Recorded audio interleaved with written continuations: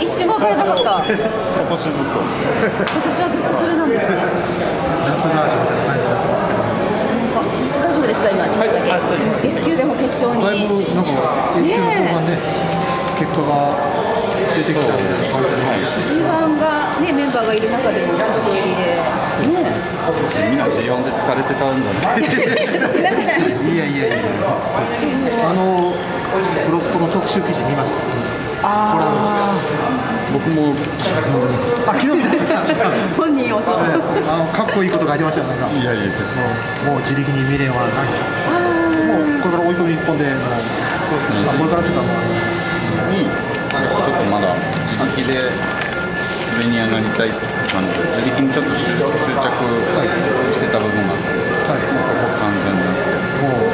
はい。まあ、あの基本は本当にまあ追い込み今、まあ、でもその実際上の方で走ってる人は自力も出るんで、はい。その仕事をこなす上でも、ついついていく上でも自力は足は必要です。そういう足はいるけどね、はい。うん、そういうことですね、はい。レースの中でもまくりとかそうじゃなくてってそうですね、基本はそういう組み立てはせずにって感じですかね。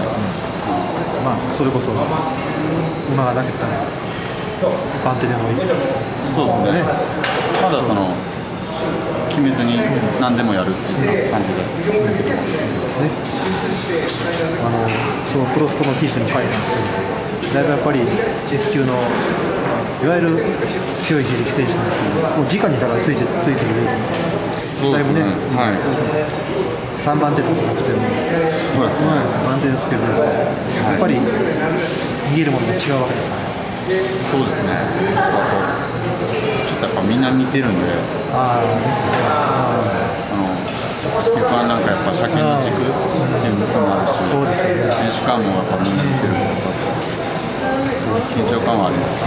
ー記念とか F1 で各地場外やってるし、場外やったら選手もみんなこってこう、そうですね。はい。見てますしね。はい、記念とかでもね、みんな基本はやっぱ J クラスは見てるんで、今季はある程度なんかテーマを持って戦おうとそういう考えはあるんですか？